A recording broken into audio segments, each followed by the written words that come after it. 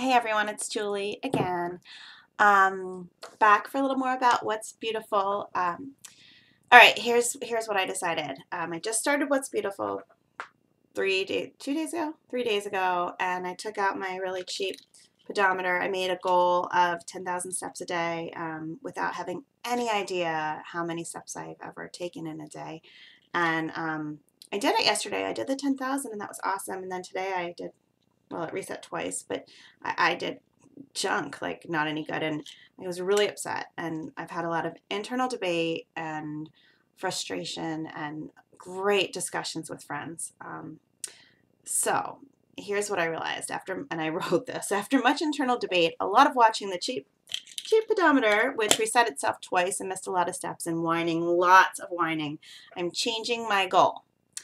I realized tonight that I can step and step and step but what I love more than anything about fitness is the way I feel the next morning. You know, the good soreness.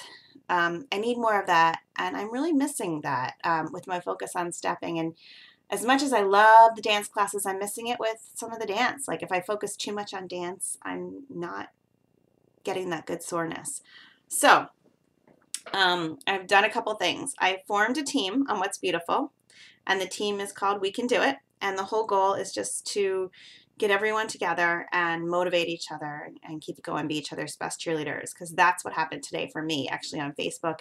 And then tonight in a Twitter party was I had cheerleaders behind me and telling me it's okay, change your goal, you're not happy.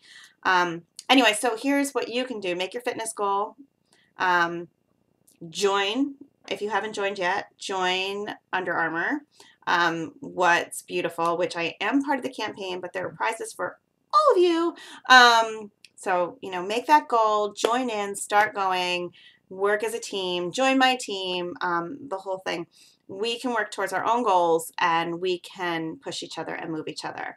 Um, as I said before, I learned in conversation today um, that friends truly help you move on in your fitness. And um, we need each other. I mean, we really do. We need each other for everything. So, um, join me, okay? Um, that's my news, my new goal. I'm setting it. Oh, my new goal. I don't think I said what it is. No, I did. I did. I did.